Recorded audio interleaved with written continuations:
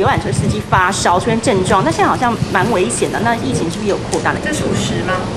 呃，有，那可能这已经哈送去裁剪了。证实当天在运诺福特饭店人员到集中检疫所的游览车司机发烧，已经紧急裁剪，但指挥中心强调司机都有穿防护衣和口罩，只是已有四名饭店人员确诊，按一一二零防务部主管和按一一二九六十多岁女员工早就有症状，还是到饭店上班。按一二零遭爆料被指几曾没戴口罩工作，甚至这两人每天都会去 B One 的员工餐厅集合开。开会，即便目前其他员工裁剪阴性，仍然人心惶惶，担忧只是未发病。B one 地方我们有做过场地的一个裁剪，好，那也都是阴性，怪谁没戴口罩？我觉得这也大可不必了哈。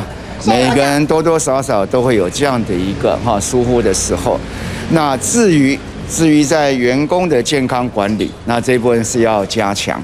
而整起事件如滚雪球般爆出，时间倒回二十八号，指挥中心晚间八点半开会研议诺福特人员是否全数撤离，代表早已知情有员工确诊，更让机师不满没有提早告知。二十九号凌晨仍然有人陆续住进饭店，直到早上才广播全数撤离，等于让他们一整晚暴露在染疫风险内，更被迫住进集中检疫所十四天。八点半就知道，他当然应该要早点说嘛，这样当然会省掉很多麻烦啊。四月二十九号凌晨陆续有机师入住，让他们进入饭店超过十二个小时。那都全部都请他们到集中检疫所了。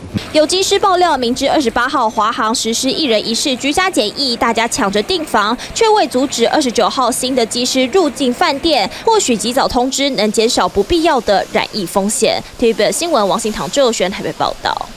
请订阅、按赞、分享 TVBS 新闻频道，并开启小铃铛。也请下载 TVBS 新闻 APP，随时掌握国内外大事。